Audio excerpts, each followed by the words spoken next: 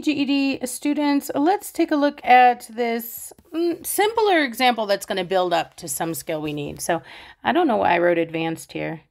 This one, I try to do too many things at once. We're looking at a beginner application of this concept.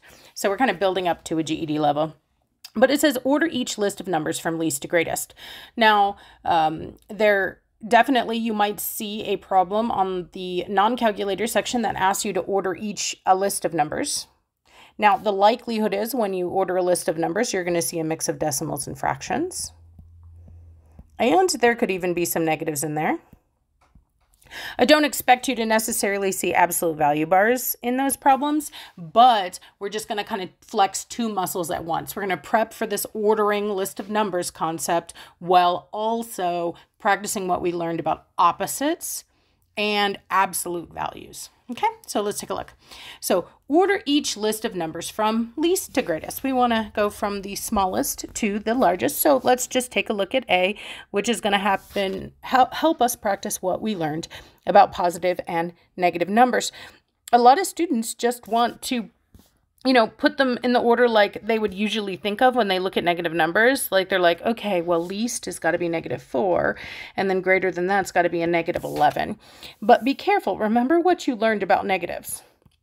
You know, when I look at a number line, and I have zero in the middle. As I go off and get bigger, one, two, three, as I go in that direction, my numbers are getting greater. But as I go off in the negative direction, negative one, negative two, negative 3, my numbers are actually getting smaller, and that seems counterintuitive to a lot of students. But think of it this way it's like who's richer and who's poorer. Okay, grader's like richer. If you have three bucks, you're way richer than the dude who's in debt three dollars. Okay, and then the dude who's in debt a thousand dollars is really much poorer than the dude who has a thousand dollars. Okay. And so the more positive I have, the greater I get. But the more negative I go, that's actually poorer. That's actually less. Okay. So as we go to order this, my what students think of as the biggest negative number, but the further negative I am, the least I have. So we get negative 11, then negative 4, then 0, then 3, and then 7. And so these number lines, if you can draw them out or envision them, will really help you in situations like this because the same order that they ap- would appear on the number line is the least to greatest order, okay? Um, so nice, not too bad for A. But now looking at B, there's actually some work we should do to simplify these examples before we try to order them. So that's my good advice for you if you can simplify. If there's any math you can do to make these guys simpler, do it before you order them. Okay, and that will avoid um, silly errors like this one. Remember, a lot of students think absolute value means opposite. So they say, oh, the absolute value of 7 must be negative 7. But that's not what absolute value means, right? If I just wanted to say that opposite, change the sign, I would just pop a negative in front of a number. There's the opposite of 7. That's how I'd write it. So if it doesn't mean opposite, what does absolute value mean? Well, absolute value means a number's distance from zero on the number line. And it seems like a silly thing because if I ask you, you know, how far away from zero is seven? You're like, duh, Kate, it's seven away. So nothing really happened to seven when I simplified this. But look at the next number the absolute value of negative 4. I'm asking you how far away is negative 4 from 0? And some students would tell me, oh, it's negative 4 too. Nothing happened again. Like, what a boring operation. But I would say, I disagree with you. You can't be less than 0 away. You can't be less than right there. Okay, so having a negative number when I talk about how far doesn't make sense. And so what ends up happening if I take the absolute value of a negative number is it becomes positive. So what's the absolute value of negative 4? It's positive 4. What's the absolute value of a positive? It's still a positive. So practically, all that absolute value does is really just make the number that's inside it, inside it, okay, guys? It won't affect anything outside of it, but inside of it, it'll become positive. So what's the absolute value of negative 6? Positive 6. What's the absolute value of 3? It's just 3. right? We're 3 away from 0. And what's the absolute value of 5? It's just 5. And now that I can see what the simplified answer is, it's a lot easier to order it. So 3 is the smallest number in the simplified, so this is the smallest expression. So the absolute value of 3 comes first. Uh, next smallest number would be 4, and so I'll write this one next, the absolute value of negative 4.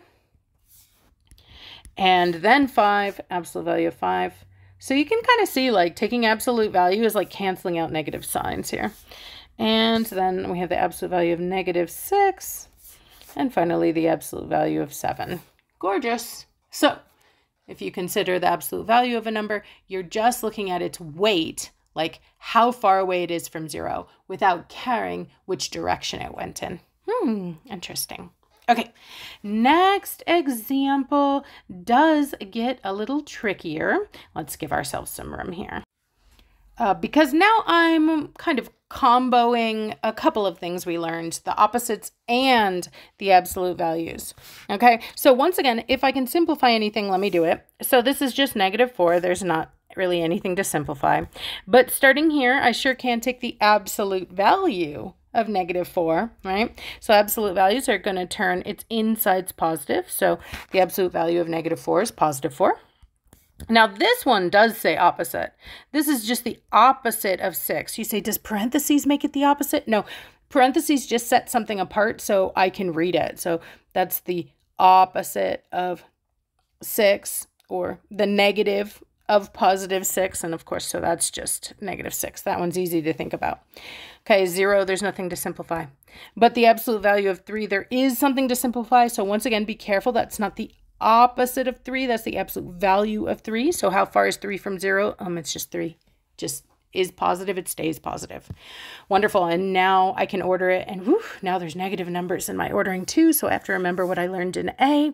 The more negative you are, the smaller you are. So the least number here was the opposite of 6. Again, even though I simplified it to find my answer, I will write this in my in my answer, but you won't have to remember that for the GED because these will be multiple choice. Okay, what's next smallest? Well, the only other negative number, huh? So negative 4. And then, of course, zeros between positives and negatives. And now my positives go the way I would behave, expect them to. So 3 would come next, so I'll write that original absolute value of 3. And then finally, whatever simplified to 4. And that was the absolute value of negative 4. Whew! Alrighty, you guys. Ooh, I combined things. Um, and maybe, again, you won't see it in just this combination on the GED, but we did just flex our muscles with a few different GED skills. So congratulations.